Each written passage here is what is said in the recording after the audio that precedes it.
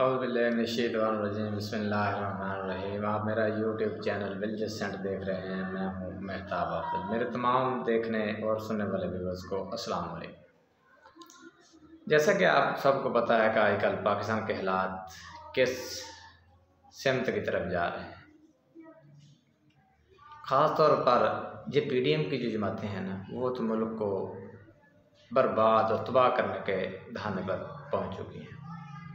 वो तो किसी हाल में भी साफ़ शफाफ इलेक्शन कराना नहीं चाहते अजीब ड्रामा इस मुल्क में किया जा रहा है।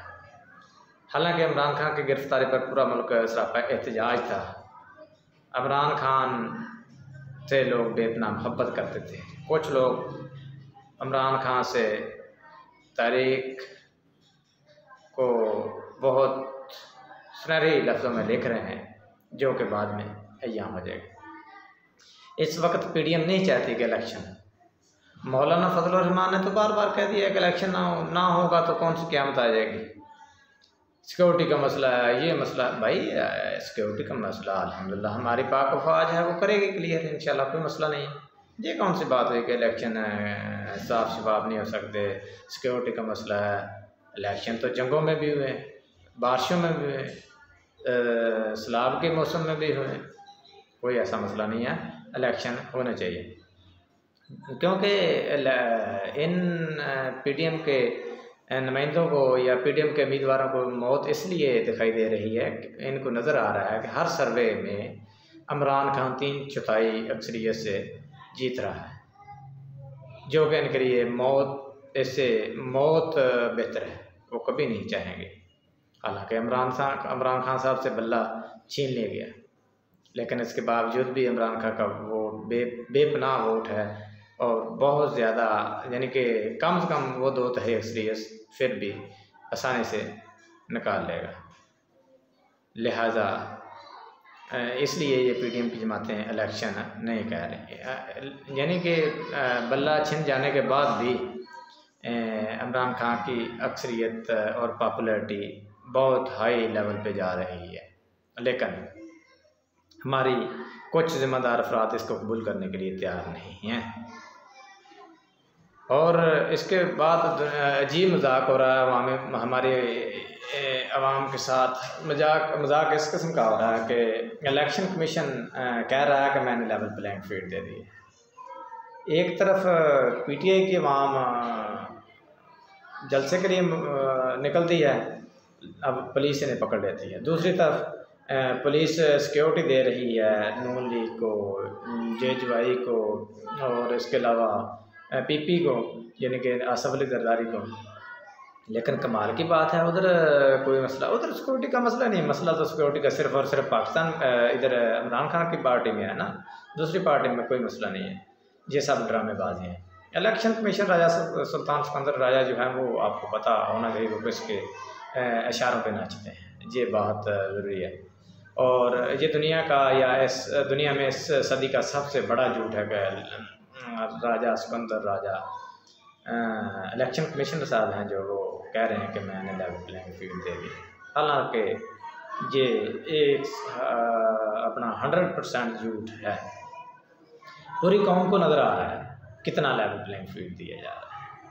कितना के इसको? पीटी के उम्मीदवारों के साथ इनके तजनी, तजदीद कनिंदा गान को भी उठा लिया गया पीटीआर के वर्कर को भी उठा लिया गया, पीटीआर के वोटर को भी उठा लिया जा रहा है और इतना जुल्म तशद किया जा रहा है, प्रेस कॉन्फ्रेंस करने पर मजबूर किया जा रहा है। ये सिर्फ़ और सिर्फ़ पीडीएम की जमातें करवा रहे हैं और आवाम हमारी हमारी एजेंसीज को बदनाम कर रहे हैं। हालाँकि एजेंसीज इसमें बर रास्त मुलवस नहीं है, ये सब सिर्फ़ और सिर्फ़ जो नवाज़ शरीफ के जो एम पी एम एन हैं, वही करवा रहे हैं ऊपर से। हालाँकि ये नहीं होना चाहिए। और इससे और बड़ी खबर के इमरान खान की बीवी बुशरा बीबी को बनी गाला में यानी कि सब जेल करार दे गया हम के घर को। और उसके चारों तरफ़ पुलिस ही पुलिस है। जैसे इस पुलिस ने कब्ज़ा करना है। क्या इसमें रखा है यार?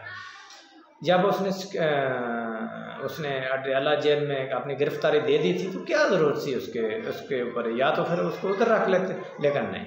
अजीब मज़ाक हो रहा है, अजीब ड्रामा हमारे मुल्क के पास, मुल्क के साथ हो रहा है। हालाँकि इमरान खान को पर 24 साल की सज़ा दे दी गई है, और 10 साल के लिए अहल कर दिया गया है।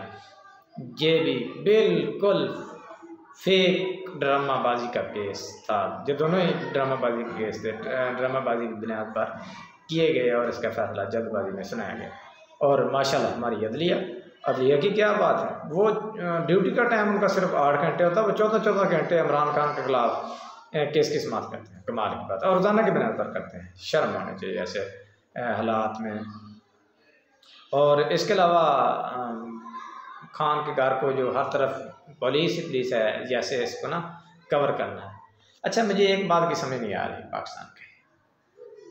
पाकिस्तान में जितनी इसराइल की आबादी है ना इससे दो गुना ज़्यादा यहाँ मौलवी और पीर हैं। लेकिन इसके बावजूद भी इनकी दुआएँ कबूल नहीं होती।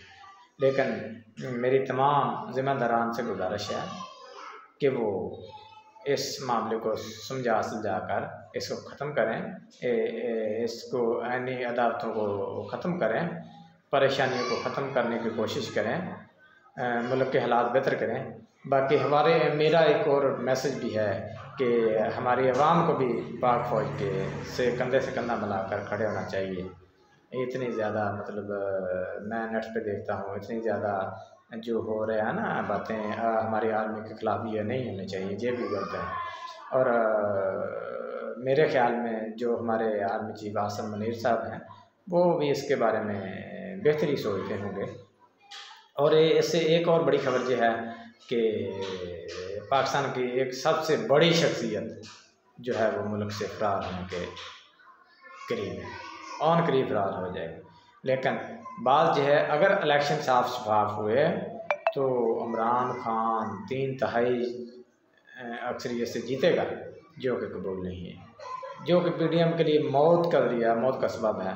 लिहाजा मेरी तमाम सामीन और तमाम ज़िम्मेदाराना ज़िम्मेदारानों से गुजारिश है कि इस वाक़े का फ़िला, फिल फॉर नोट्स लिया जाए और नोट्स लेकर इस मामले को दुरुस्त सिमत में चलाकर इस मामले को ख़त्म किया जाए और इसको मुल्क पाकिस्तान की रखवाली के लिए बेहतर सा निज़ाम राज किया जाए। अगर वीडियो अच्छी लगे तो इसको लाइक, कमेंट्स सब्सक्राइब और शेयर ज़रूर कर दीजिएगा। अगली वीडियो तक इजाज़त दीजिए। फिर इमान ईमान